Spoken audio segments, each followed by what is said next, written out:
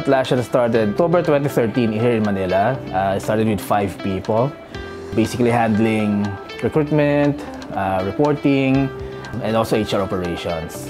It was fun, and then the growth started to really uh, kick in, and then we need to find a new place that is also similar to uh, what other um, geos had. So we had this one, uh, which is great because you know the culture is pretty much laid back, but we take the work seriously and then we want to have an environment wherein people can do the best work of their lives. So that's one of the missions visions of atlassian. Um, one of the things that we want people to have is the empowerment be able to think to innovate. As a matter of fact we have ShipIt. So that's um, every quarter we, we devote 24 hours to innovate. The team started to grow so now we have uh, finance, customer advocates are growing, we have the internal tech teams.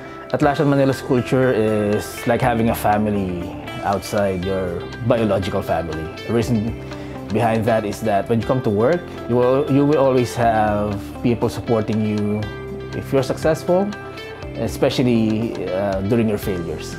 Um, they will help you throughout your journey along the way. You, there will always be someone that you can count on to have your back we always take the work seriously, but we always incorporate a little bit of fun as well.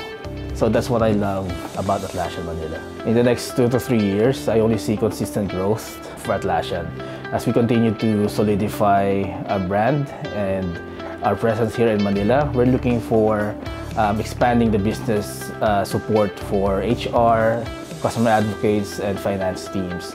So with that, we're also looking for very passionate people um, that can help us continue the mission and vision of Atlassian and also live out the values. It's very easy. We only have five values. Uh, very easy to remember, very easy to understand. That's what I like about Atlassian. So we have open company, no bullshit, um, don't fuck the customer, play as a team, build with heart and balance, and my favorite, be the change you seek.